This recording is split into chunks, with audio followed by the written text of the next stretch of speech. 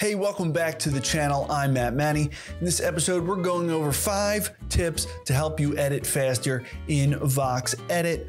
So let's not waste any time. Let's just get in there and do it.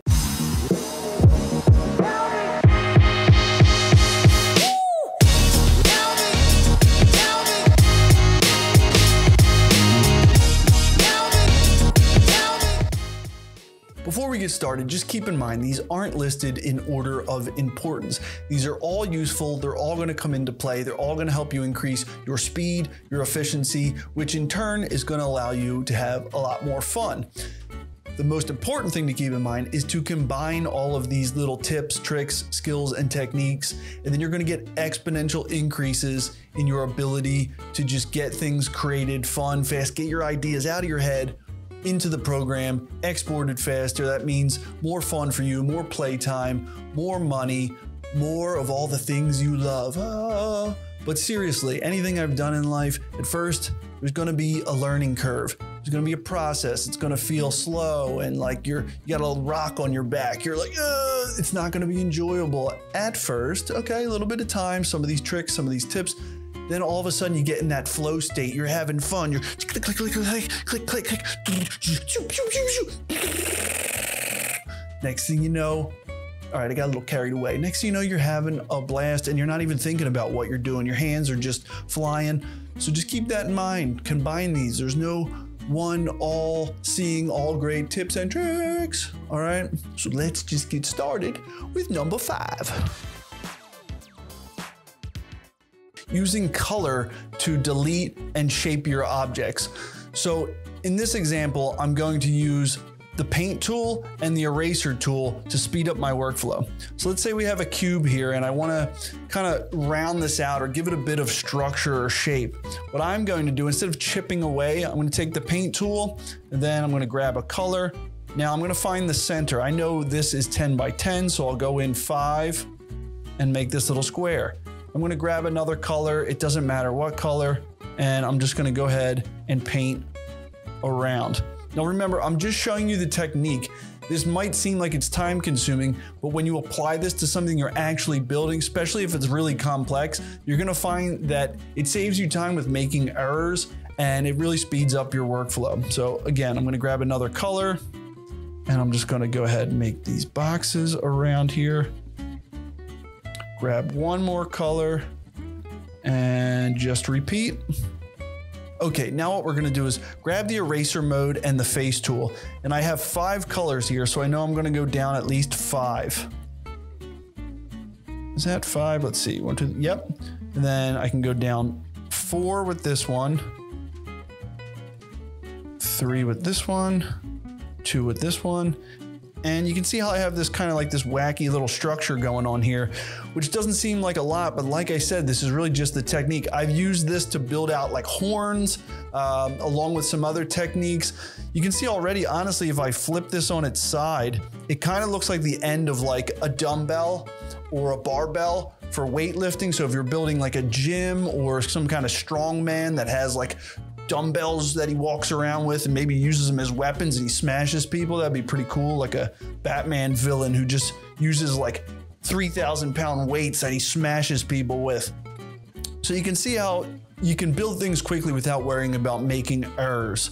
It's my guess that once you learn some of these tips and tricks, you'll find a lot of ways to use them. And I'd love to see some of the ways that people implement this stuff to help them build not only quicker, but more creatively. Because sometimes, like when I do art freehand with a paintbrush, I'll come up with a technique and it's kind of like a mistake at first. But then as I do it more and more, I'm like, whoa, that kind of produces this really cool technique that I really like. And now I can use that as like a background or I can use that to achieve some kind of grassy structure or you realize that a mistake repeated isn't a mistake at all, then it actually becomes a technique. And then that technique you'll find applications for. So just keep an open mind when you're using this stuff. I know it doesn't seem like a big deal, but you'll find weird ways to use these things. All right, tip number four is using control and option plus your mouse or Control and Alt on Windows to move around within VoxEdit. Now this might seem really basic, really simple, but to me, I'll be honest, I didn't know this when I started and it was driving me crazy. I was using the rotate and flip buttons to try to get different angles on my Vox creations. As someone who's used to working in three dimensions in After Effects, this was driving me nuts. I had no idea what I was doing. Then I found this. So if you press Control and use your mouse, you'll be able to move this thing around along all of your axi. And then you can use option and it locks in and it moves just along one axis, okay? So you can move like this with control, then you can move up and down. You can swivel around you can move all like this. Ba -ba -ba -bam, ba -bam, ba. So that's gonna save you a ton of time as you're working. Get those two fingers used to it, get ready. Now, I don't know if that's natural for you. I'm a piano player, so I'm used to using both hands on these things. Maybe you're a gamer, but trust me, you'll get used to it fast. It's like second nature. Sometimes when I'm watching videos, I start doing it like I'm in there. Eh, you just get so used to it. So learn it, use it, love it.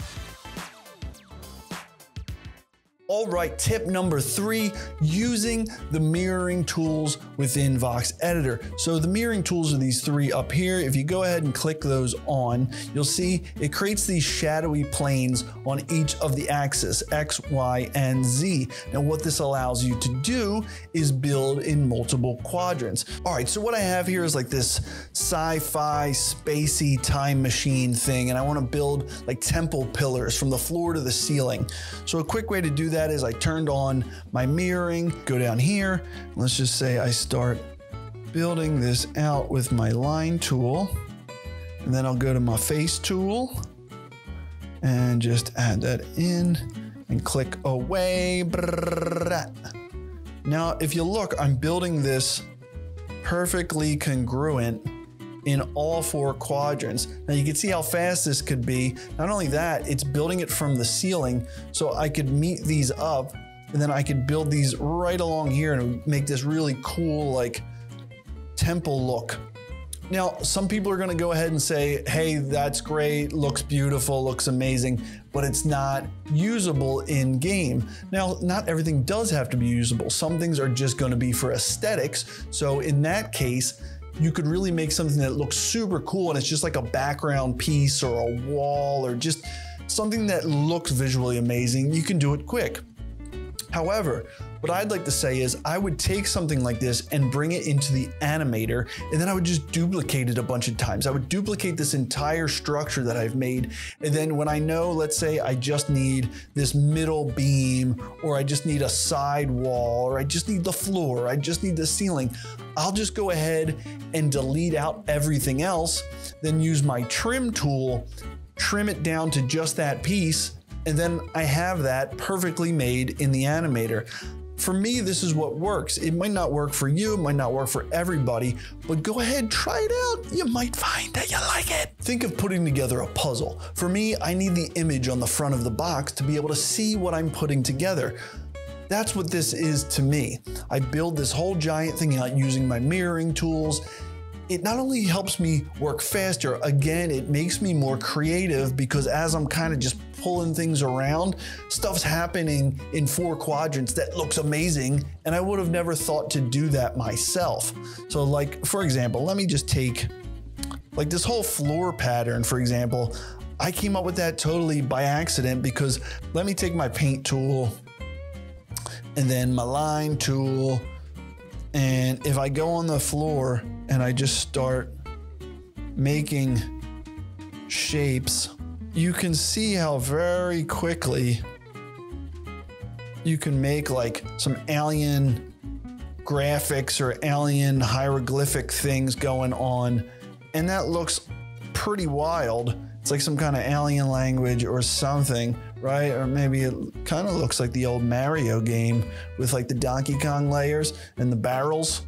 I don't know, maybe my brain needs some video gaming. Either way, you can see how powerful this is. And it's also on the ceiling. Oh, awesome. So mirroring, learn it, use it, kill it, love it. And now, a message from our sponsors. Hi, I'm Matt Manny, and I don't have any sponsors, but man, would I enjoy some. That's why it's so gosh darn important that you hit like and subscribe. Now, back to your regularly scheduled programs. All right, so I'm working on this abominable snowman head thing here.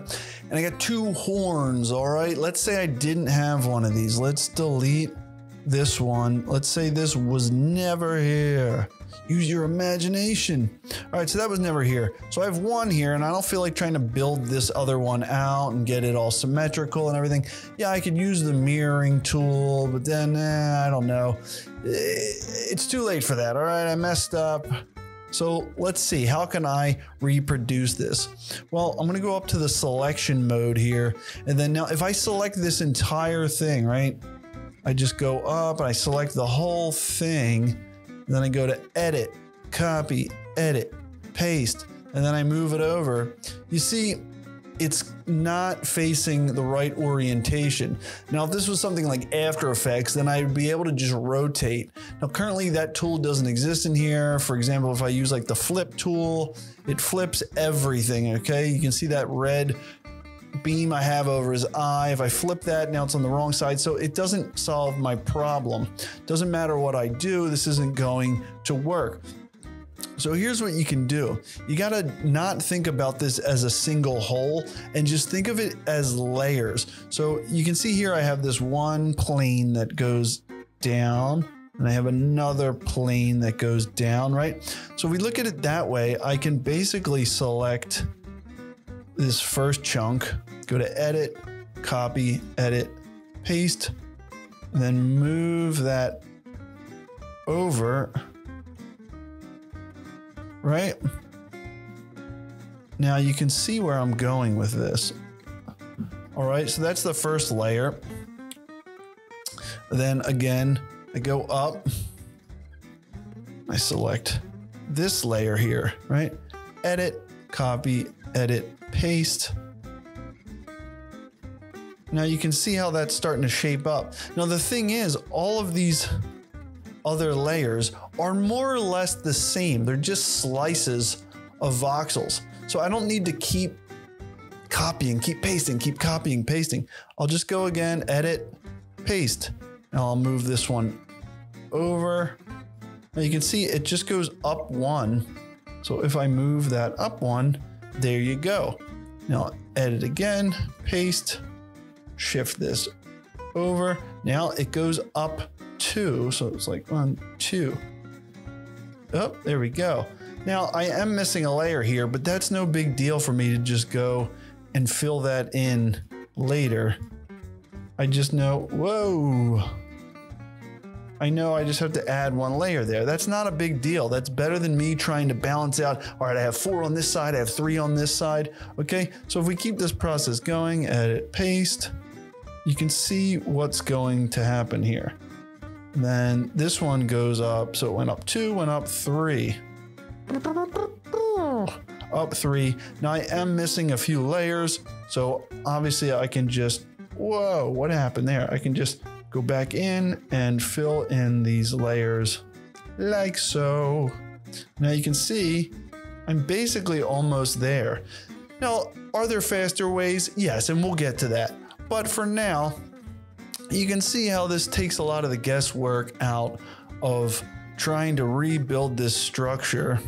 Now, if I really wanted to, this one's already long, so I guess I might as well save myself the trouble and just go ahead. Whoa. Wow. I've been playing Crash Bandicoot a lot. Uh, I bought the package for the Switch, and I got that whoa in my head. I love the whoa. All right, so we're gonna copy, we're gonna paste. Then you move that over and then up three. And then we're almost there. Again, I'll just go back to the pen tool and fill in these last couple. And there should be one more. And there you go. I have that horn perfectly balanced out and I didn't have to try to really figure it out by building and crafting. I think a lot of people think about this in the way of like sculpting, which is fine if that's how your brain works. But that starts to confuse me, especially after I'm working on something complex, like I'm building this beard here, and then I start getting confused. It's a lot easier to just cut things into slices and think of it that way. Kind of harken back to your mirroring tools and think how do these mirrors slice things up, and then try to build based off of that using your copy and paste. All right, tip number one. I like sound effects. Tip number one is using our layers section over here to drastically speed up your creating in VoxEditor. So you saw in tip number two, we use copy and paste. We kind of copied some layers and we moved them over. There's a better way to do that, okay? So let's say we have this head here and let's imagine this other horn doesn't exist. So let's just go ahead and get rid of that. Get out of here. Get rid of that, get rid of that, get rid of that. All right, so we're down to a one horn abominable snowman here. What we can do here to get another horn is we'll go over to our layers section. See, and right now we're on main one, but there's this little duplicate button. So we're gonna go ahead and duplicate, and now you have main one one. Doesn't matter what the names is. It's just an extra version of this entire thing. Now we don't see anything because it's like with inside of itself. But if you click off this little button, you can see nothing happens. But if I click on the new one, main one one, and I shift it over, oh, you can start to see, oh, he's morphing. Uh, yeah, he's demented. All right, you can see, so now if I turn off the original layer, see, you have this new layer there that is the same. So what we can do is we'll turn that off and we'll keep this new layer and then we'll just go up here to the red button and we'll flip it on the x axis. We'll flip it on the x axis and you can see how that other horn is there. We just got to get rid of this guy's head. I'm to go up to here, orthographic, go to the eraser mode and this thing, and let's just start going to town on his face. Get out of here, dude. All right, we got a little bit left. Get rid of that. Get out of here. Go gone, gone, on, go on, go on, baby. What is that? Gone. on. Alrighty. Now, let's move this over a little bit more turn that back on. Oh, whoa, he's got another horn. I got lucky there, to be honest. I thought it was going to be off a little bit, but it was perfect. Now, the problem is you can see that these are moving independently, right? Which, you know, might not be the biggest deal, but as you're building and you're moving these things around, you might start to lose some voxels or things are gonna get out of place. Luckily, on that same layers panel, we have this little sandwich button. You're gonna click on that and they become one. Look, it moves as one. He is complete. He feels good inside. He is whole. Namaste, Mr. Abominable Snowman. All right, guys, that's been my five tips to edit faster in VoxEdit. Not only will you edit faster, you'll be more efficient. That's kind of the same thing, but you'll have more fun. You'll be better. How? I don't know. You'll be better in every single way. You'll be more handsome, more beautiful. You'll smell better. Food will taste better. You'll make more money. I, uh, I don't know, but probably, sure, why not? Everything is better with these tips. So if you enjoyed this video, you found this helpful, go ahead and hit like and subscribe. Come on, you know you want to. It helps me. It helps you because then you'll be informed informed about my next great content, my spazzy afternoon where I had too much coffee. Come on, get into it. But seriously, guys, as always, thanks so much for joining me, and I'm sure I'll see you next time. All right, I think I've lost my mind. I smell nice. It must be the tips. It's the tips. It's the tips. Just the tips.